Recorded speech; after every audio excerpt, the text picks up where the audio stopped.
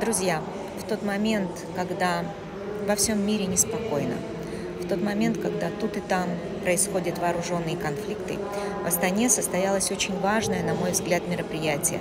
Это секретариат съезда лидеров мировых и традиционных религий под председательством спикера Сената парламента Маулена Ашимбаева. Представители самых разных конфессий сегодня здесь. Представители международных организаций а, из 24 стран мира сегодня здесь.